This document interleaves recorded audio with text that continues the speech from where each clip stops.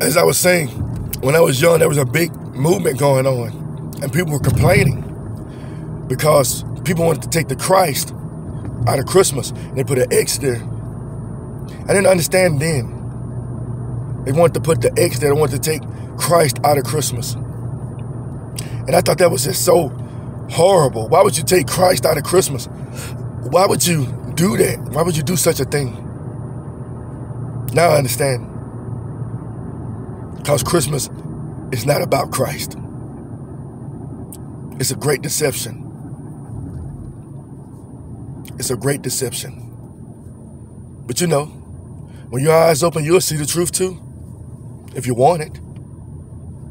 If you want the truth, you will receive the truth. You understand? You'll stop listening to these preachers and these teachers that tell you it's okay. I think God is so kind with this. I think. And they won't never lead you to the scripture that tells you exactly what God thinks about it. They give you their personal opinions. You understand? All Hallows Eve. Anyway, in the same house, we talk about God. And in the same house, we practice All Hallows Eve. It ought not to be that way. You understand? God is looking for men and women of God who's gonna set the example and draw people to the truth rather than draw people to lies. And the thing is, I guarantee you, these church leaders, they know. Because God talks to them on a personal level. Let me tell you something about people pleasing. I'm gonna tell you something about Saul. Saul was a people pleaser, and it's caused his kingdom to be stripped from his hands.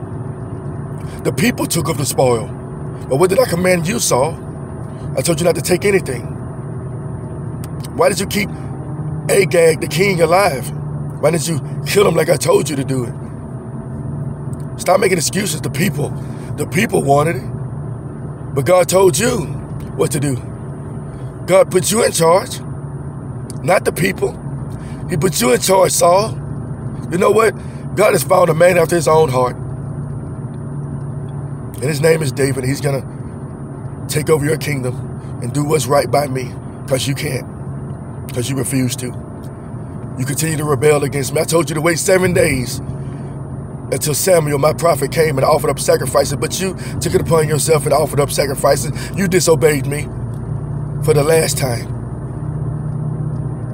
You're not going to keep disobeying me. I gave you chance after chance to change from your wicked ways. Now I'm to replace you. Now I'm to replace you with somebody that's to do my will in all honesty and all truth. A man after my own heart. A man who's to call upon me. A man who's to do exactly what I tell him to do. Not a perfect man, but a man who's to tell, do what I tell him to do. Who's to call upon me and teach the people about me. Who's going to write psalms about me. A man who's going to spread my word in all honesty and truth and listen to my prophets. And listen to my men of God that I send your way. I'm going to replace you. Goodbye. I gave you a chance to change from your evil ways. I gave you time and time again. I didn't get you a church for years and years and years to do what's right by me. Now I'm going to get somebody in there who's going to do right. I'm going to do just like the Old Testament. I'm going to replace this evil king with a king that did right in the sight of the Lord. You understand? But read your Bibles. Promotion comes not from the man, but from the Lord. The Lord brings one down and sets one up. Why does he does that? Why do he do that? Because men are not doing what they're supposed to do. Women of God are not doing what they're supposed to do. So God needs to replace them with people who are going to do what he wants them to do. Who's not going to mislead people with lies. Who's going to tell the truth. You understand? And you know what? He's going to let some of them continue to have their churches, continue to have their synagogues. He's going to let them continue to do evil. He's going to give them over into their evil. He's going to let them misuse his word to their own downfall. People, I love you, and God loves you. I won't tell you anything that God has not set on my mind to tell you. You understand? I'm not out here trying to please people. I'm trying to wake people up. And God's trying to wake people up. I'm not the only one. There are many out here that's trying to wake up from their slumber. Who have took the veil off their eyes. You understand? You know, when Paul was in Rome, he told the Romans a lot of things. He told them the problems of having these idols all in here. No, this is not good. They even tried to worship Paul. Hey, no, don't worship me. If you pay attention to the Bible, it's a lot of things that's going on. People are worshiping, worshiping the creature more than the creator. They're worshiping the pastor more than the master. Oh, my preacher's a good preacher. I love my preacher. I worship my preacher. No, worship God. Don't worship man. Are you going to the church because of the preacher? Are you going to the church because of the word? What are you going to church for?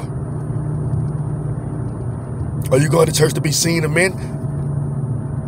Jesus summed it up. Don't be like the hypocrites who like to stand in the street corners and stand in the synagogue and make long prayers. They think by their multitude of words, gaining man's advantage, who like the uppermost seats in the synagogues, who like greetings in the marketplace. You understand? Don't be like them. Accept your righteousness see the righteousness of the scribes and Pharisees. You will by no man, no means inherit the kingdom of heaven. Read your Bible and see what the Pharisees and the scribes' behavior was. You understand? Read your Bible and let God tell you what ungodliness is. So you won't do it and repent. Repent in sackcloth and ashes. Repent. The kingdom of heaven is at hand. Tell my people to repent. The kingdom of heaven is at hand. Heal Cast out devils in my name. Don't bring devils into my church. You understand, people? I love you. Lord Jesus, I thank you for giving me this word today. I thank you for letting me bring forth this word and all honesty and all truth, Lord Jesus. You know, to whom much is given, much is required, Lord Jesus. The more you give it to me, the more I must do. And the more you give it to your children, the more they must do. The more you teach them, the more they must teach. Lord Jesus, touch them in a special way today. Open their eyes in a special way today, Lord Jesus. Send your Holy Spirit into their hearts, into their souls, into their bodies, and teach them what is the proper will of God in their lives. In Jesus' name we pray. Amen. I hope everybody have a blessed day. I know it's hard. I know it's hard to open, be open to the truth and still want to do the same thing and still want to do what God is trying to tell you not to do because the world is doing it. Because the world is saying it's okay. Because the world is saying it's okay to abort your children. Because it's your body. You can do what you want to do with it. You understand? It's okay. It's okay to change your natural birth identity that were male or female into the opposite sex. It's okay to lust and do sexual morality with the same sex. It's okay to marry in the same sex. It's okay. Stop listening to the world. The world is trying to lead you to hell in a handbasket. You got to think about the devil came to lie, kill, and destroy. His thing is to avert God's will into something else. You see, if he changed the women, if he changed the natural order of things, he can change the world. And that's how he's going to change the world. Because he's changing the natural order. God's order. And we are letting him. And the beast is going to come the restoration is going to come because we are ushering him in right now. The more we rebel against God, the closer his return comes. Have a blessed day.